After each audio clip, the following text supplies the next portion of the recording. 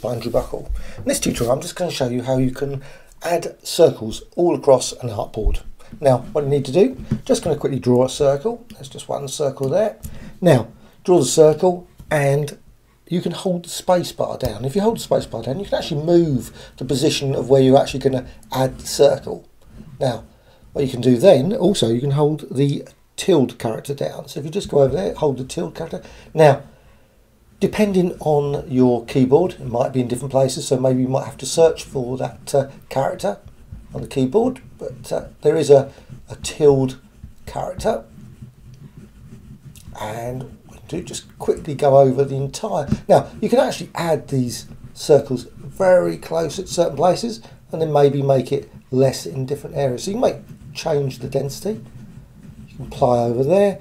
Now, the key thing here, once you've actually started to add all these circles is to release the mouse first. Don't release any of the others because then they will just disappear.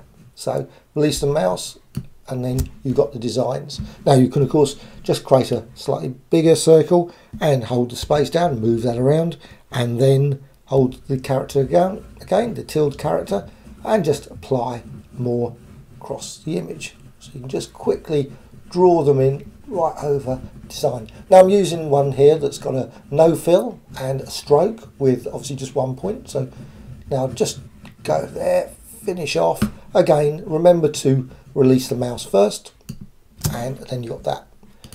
Okay, so you've got a nice sort of very circle filled design. Now of course what you can do, you can just standard paths, you can just quickly select certain areas and then you can change, go there, change the colour as well as maybe add maybe different size of stroke to different areas as well as maybe use the width profiles. So you can just add different width profiles there. And again like that. Or like that one as well.